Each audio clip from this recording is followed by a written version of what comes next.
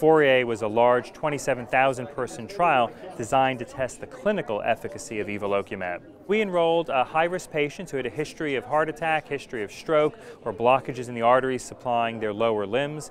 Uh, these were patients who were on statin therapy, in general high-intensity statin therapy, uh, and then their entry LDL cholesterol on average was around 92 milligrams per deciliter, and then they were randomized to receive either evolocumab or matching placebo, and we followed them for between two and three years. The key finding was that evolocumab reduced the risk of the primary endpoint of broad composite of cardiovascular cardiovascular events by 15%, and it reduced the even harder key secondary endpoint that was heart attack, stroke, or cardiovascular death by an even greater amount by 20%. The results were consistent in all the subgroups we studied, including in patients who came in with low levels of LDL cholesterol, even in the low to mid 70s.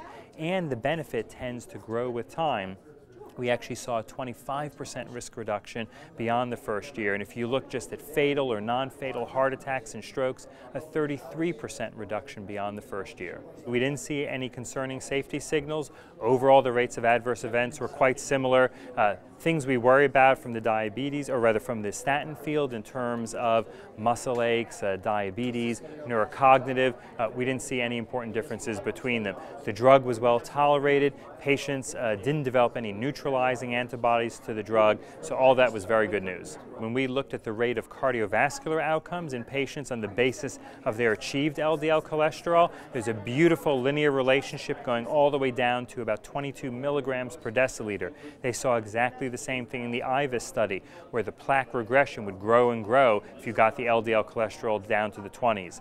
So I think that should be our new target for patients. We've seen both the imaging benefit and now the clinical benefit.